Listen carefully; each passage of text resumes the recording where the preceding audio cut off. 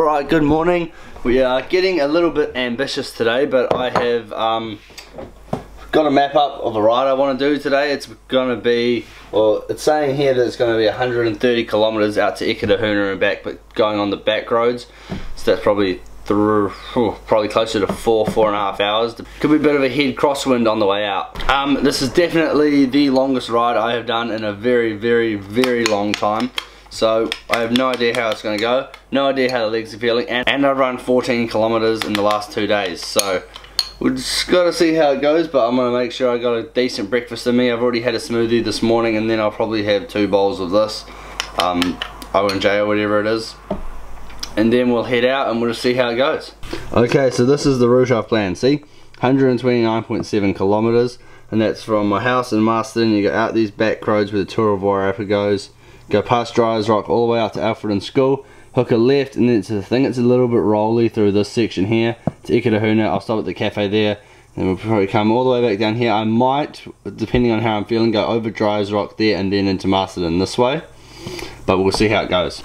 The temperature outside is about 18 or 19 degrees so probably going to be one of the colder rides I've done since I started getting back into training so might might be needing a little bit of an undervest and then maybe an overvest to take with me as well, just in case the weather gets worse as I head up the North Island.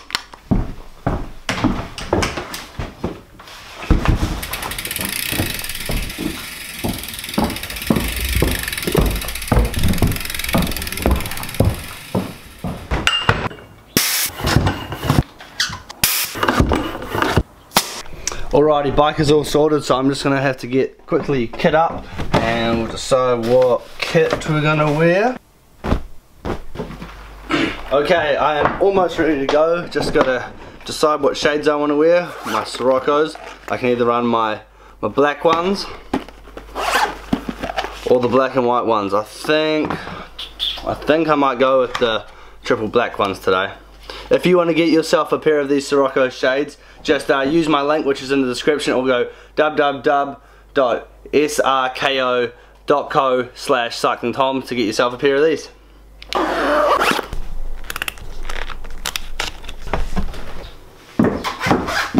Alright, 100 plus kilometers, here we come.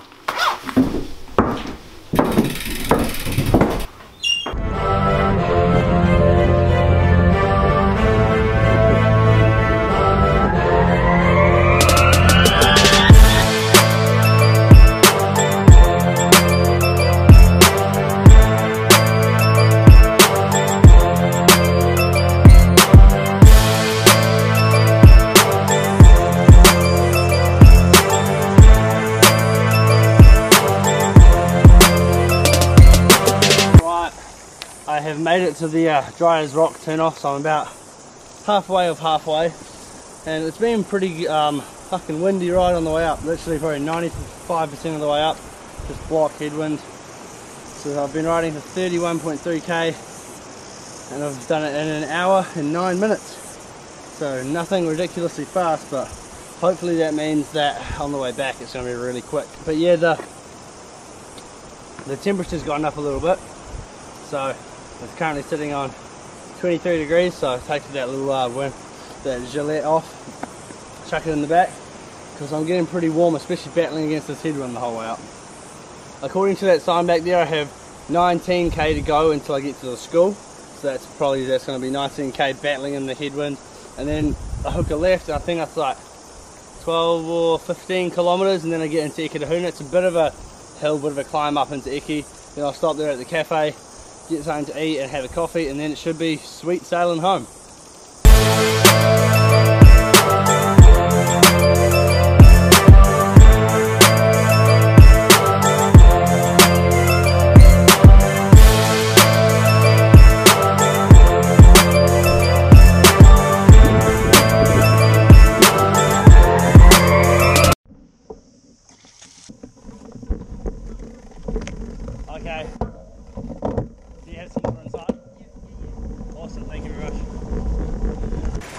Alright,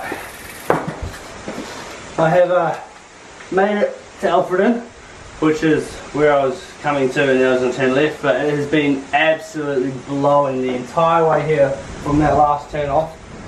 and um, it's just getting windier and windier and windier so I'm just going to turn back now and enjoy the tailwind and then I'll see how I feel once I hit home because once I hit home it should be almost a almost 100k so if I do any extra we'll see when we get there.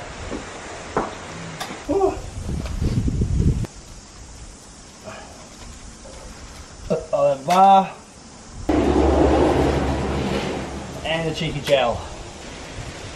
And uh, this is what Alfredton School looks like for anyone who is interested.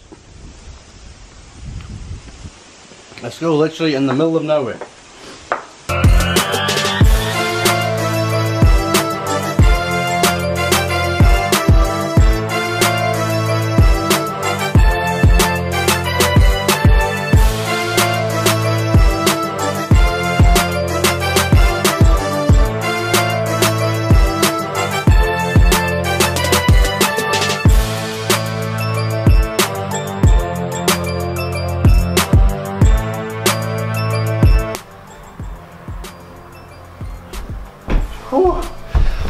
That ended up being 98k, 98.3k and 3 hours and 25 minutes on the bike today. I really, really wanted to get to 100k but I got back into town and my legs were just dead. I had to stop at a dairy probably 5 kilometers, 4 kilometers away from my, my house and just buy a Coke just to get me home.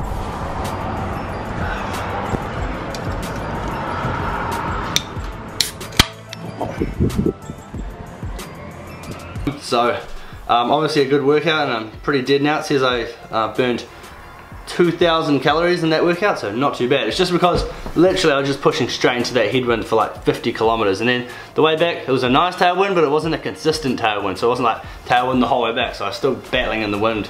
Um, the theme for today's video is going to be uh, my goals for 2019, like what I'm looking to do. And lots of people have said in the comments like, oh, are you quitting cycling and are you not going to do road races and time trials anymore? And that is not the case. I am definitely not quitting cycling.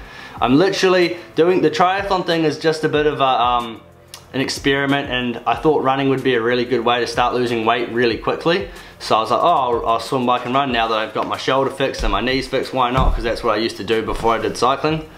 So I just give it a go. So that's what the running and stuff's for. And then I was like, oh, I might as well set myself a goal. So I'll do the half Ironman at the end of the year.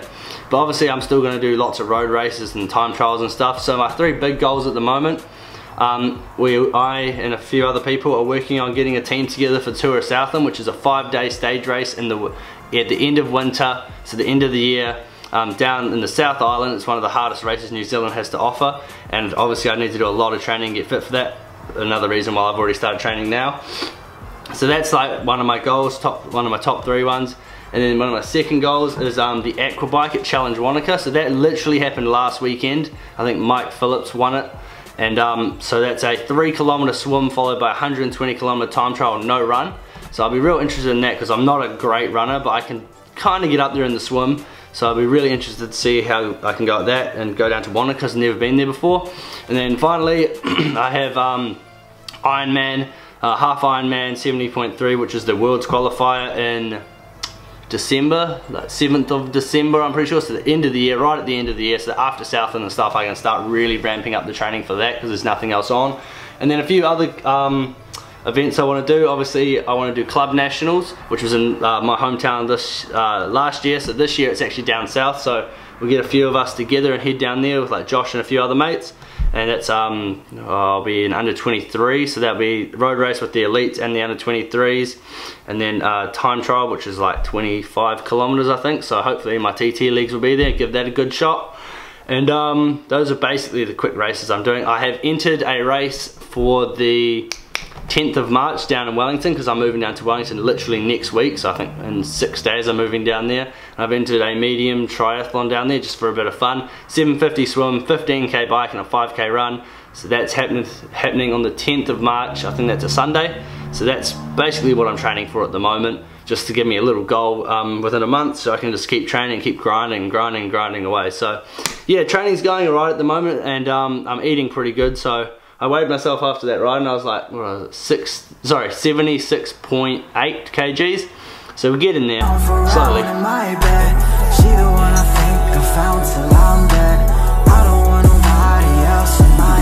No, I don't need another one. Take your clothes off. What's in my drink, it won't let me doze off. In deep rest, girl, overdose on zone